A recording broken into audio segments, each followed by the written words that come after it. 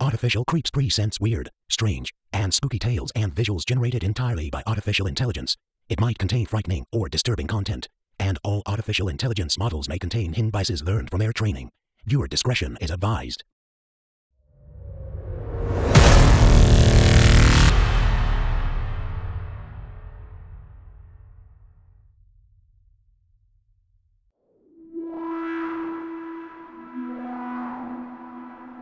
Lizzie Loomer hated her job.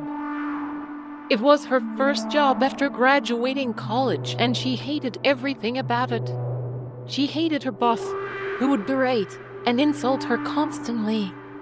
She hated the office building, which was old and creaky and felt like a horror movie setting. And she hated having to work on Halloween. She had plans to meet up with some friend and go out drinking, but instead she was stuck at work. Her boss even asked her to stay late. Can't you just stay an hour? He asked. I need you to help me with some stuff. I really don't want to, Lizzie replied.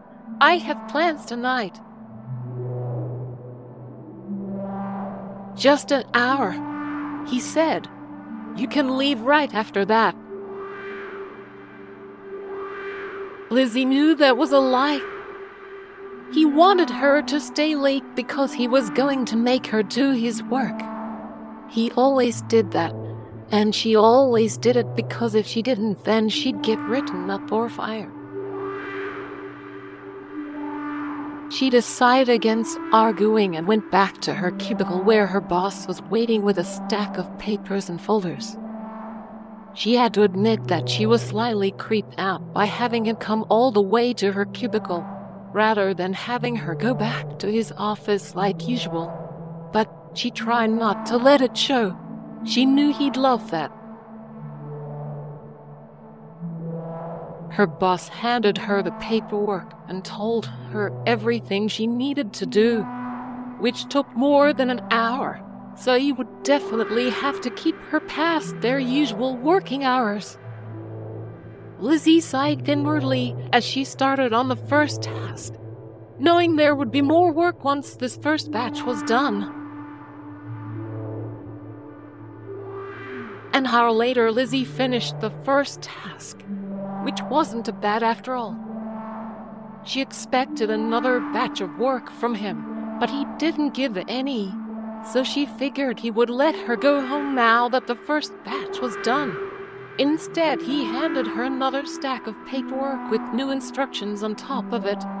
Tired and annoyed, Lizzie just started on the new batch without asking any questions or complaining this time around, as she didn't have the energy for either anymore. The time flew by quickly as Lizzie became engrossed in what she was doing, and soon another hour had gone by.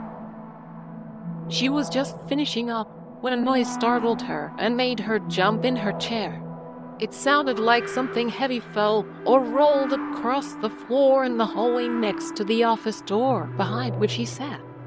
It sounded like it came from right outside their office door, even though that seemed impossible since this office didn't face the hallway, but rather looked out onto a large courtyard instead. Lizzie turned around and glanced at the door leading out into the hallway from behind which came the noise, then looked back down at what she was doing before glancing up again when nothing more happened. But now something stood outside their office door in the hallway. It looked like a man, but its face was twisted into a horrible expression of pain and agony as well as anger mixed with something else. It also looked vaguely familiar somehow. Her boss stood behind his desk looking shocked as he stared at whoever stood in front of their door in disbelief. His expression changed suddenly into one of fear. Lizzie's gaze shifted back down toward where she had been working only to see something horrible. Written in blood on top of a stack of papers were two words G T O U T.